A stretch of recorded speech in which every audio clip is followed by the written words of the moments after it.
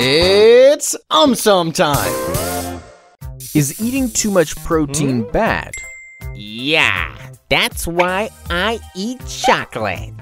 Oh, um, some. Protein helps build new cells and repair old ones. As it boosts muscle strength, high protein diets are beneficial for athletes. However, eating just protein could be a bad idea. Firstly, full fat dairy products and red meat, which are high in proteins, also contain saturated fat. Studies suggest that saturated fat increases bad cholesterol, thus increasing the risk of heart diseases. Secondly, excess protein can cause damage in people with pre-existing kidney disorders. Why? Because the weak kidneys have to work harder to remove excess nitrogen found in proteins. Thirdly, high protein diet restricts our carbohydrate intake. So, through a process called ketosis, our body begins to break down stored fats to produce energy. But as this oh. process produces smelly gas, it leads to bad breath. Lastly, dietary fiber regulates bowel movements.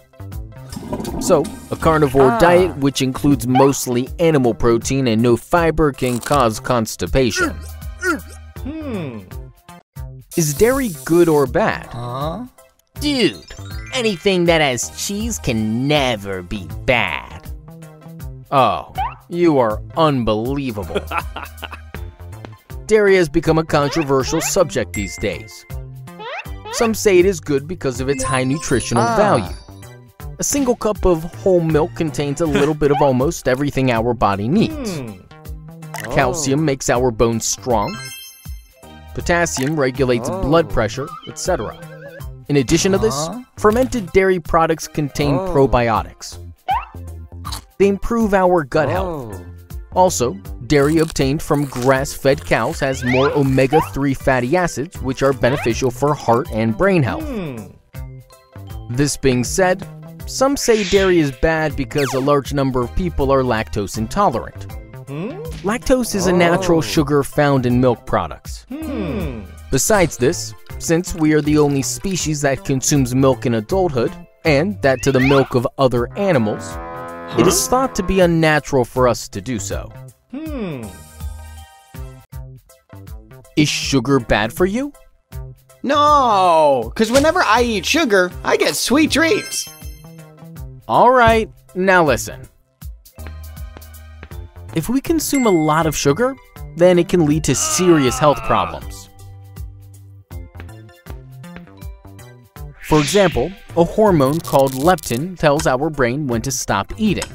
However, consuming excess fructose, which is a type of sugar, can cause leptin resistance, a condition in which our brain does not respond to leptin.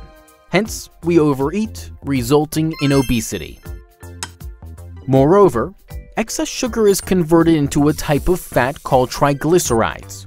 Triglycerides can enter the bloodstream and form fatty deposits or plaques in blood vessels, increasing the risk of heart attack, stroke, etc. Hmm. Excess sugar can even bind to collagen and elastin in our skin, damaging them and thus making our skin saggy and wrinkly. Studies have also shown that women who have one or more sugary drinks per day are more likely to develop diabetes. Hmm. Is spicy food bad for you? Obviously, because whenever I eat spicy food, my mouth seems to be on fire.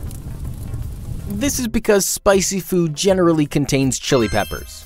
Chili peppers have a chemical called capsaicin. When capsaicin comes in contact with our tongue, it activates the heat-sensing receptors instead of our taste buds.